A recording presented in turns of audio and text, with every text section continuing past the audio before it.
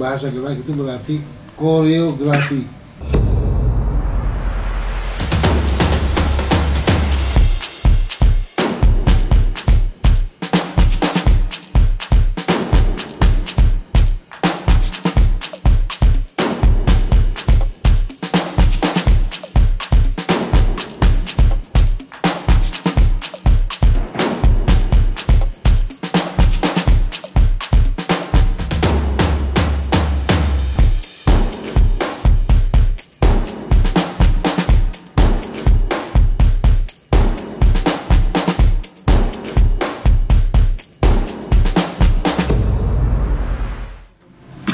seorang penari mah kegawainya ayah pikiran tariknya nah di pikiran geraknya nah di pikiran ekspresinya naon we bicarakan terus dan tidak bisa berhenti selama dia jadi penari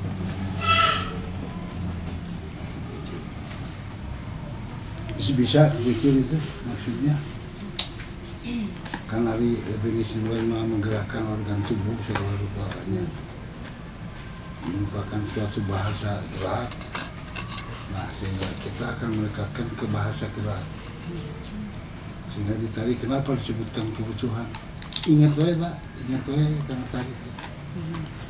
Sebab ditarik nah itu diterangkan. Sehingga itu bisa bahasa gerak bahasa gerak itu berarti koreografi. Dek minta teh panas dua. Dua.